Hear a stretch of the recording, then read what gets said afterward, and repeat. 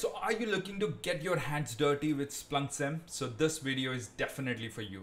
I'll give you five projects that will make yourself confident about Splunk security, right? So let's begin. The first project is installing and setting up the Splunk itself, okay?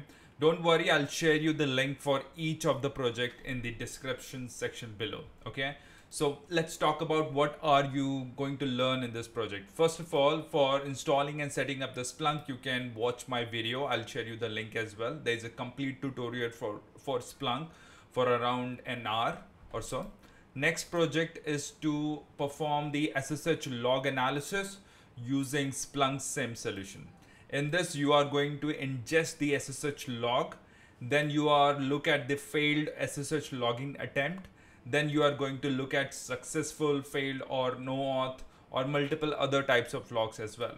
Next, you have HTTP log analysis, the web traffic analysis. It's going to be really interesting. This, this is where you are going to, of course, you will start with ingesting the HTTP logs to Splunk SIEM and then you are going to list all the system web requests and then you are going to count the number of service requests and errors.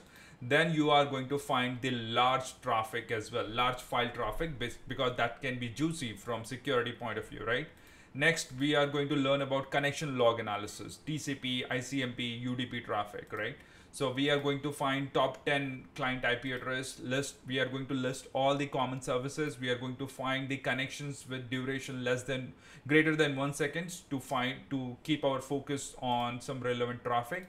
Then we are going to investigate uh, unauthorized access on, on the Linux machine. For that, we are going to use the auth log on the Linux server. So we are first going to ingest the Linux logs, and then we are going to find some common events triggered on the machine. All right, so these are all the five projects. I'll share you the link in the description below. Keep learning.